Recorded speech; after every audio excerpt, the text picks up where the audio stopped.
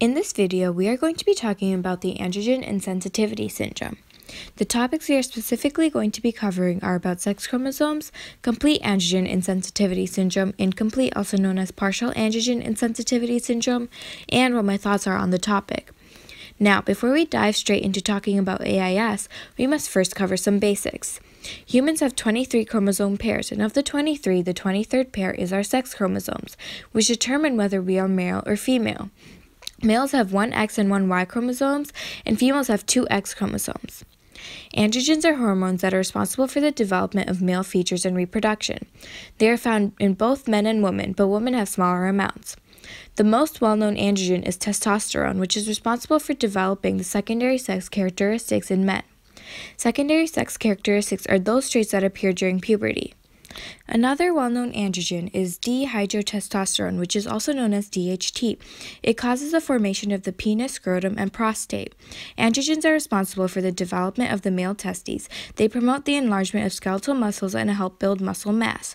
And finally, they can influence the behavior of an individual because some neurons in the brain are sensitive to steroid hormones, such as androgens. They are essentially what makes men act like men. Now, you must be wondering what exactly is AIS? Well, it occurs when a person who is genetically male is resistant to androgens, hence the name. The person has the genetic makeup of a man but the physical traits of a woman. Complete androgen insensitivity syndrome occurs when a baby boy is born with female parts and gets mistaken as a female. However, the baby does not have a uterus and is therefore infertile. To break it down a little more, when fetuses start to grow, they all have the physical features of a female. For those that are male, they have testes in their abdomen that descend as they continue to grow, and as a result, they are born with male features.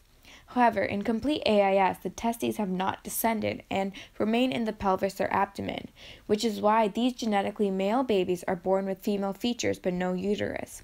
Complete AIS affects 1 in 20,000 people, which indicates that this is not a very common disease. People with complete AIS are usually raised as female and choose to identify as female. Incomplete AIS occurs when the body's tissues are partially sensitive to the effects of androgens. This is also known as Reifenstein syndrome. People with this form of AIS are born with male sex characteristics but are often infertile and tend to experience breast enlargement at puberty.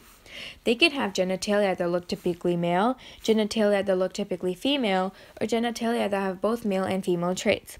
These individuals can be raised as either males or females and usually choose to identify as either a male or female. Some common symptoms of AIS would be lacking a uterus, little to no pubic hair, larger breasts, and no menstruation.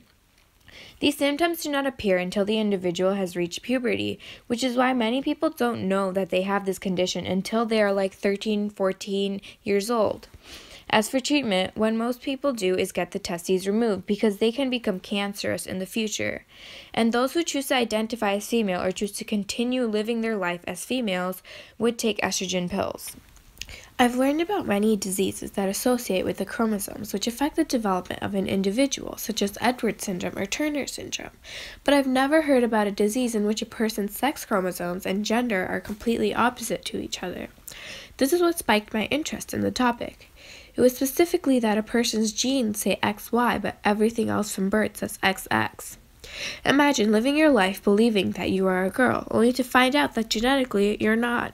You're actually a boy. Personally, it would cause me to question my own identity because I wouldn't know where I fit in anymore, especially if I have the incomplete form of AIS. I might start to feel different and act different around my friends because I wouldn't know whether to tell them or if they will continue to accept me after I do. But I think that the biggest difficulty I or anyone with this syndrome could face is the choice they are given the choice to continue living their life as a male or female or anything in between. In today's society, we have a broad spectrum of genders people can associate with, but not everybody accepts the different ranges of the spectrum. This is why society is taking a very long time in providing facilities for people who choose differently, and one of the biggest examples of this are public washrooms. Even though as a country we have took some steps towards acceptance for all, people still keep getting told that they have one of two choices, male or female. Society tells people to be different, but then looks down upon those who choose to live outside of the box. I think people should be free to be what they want.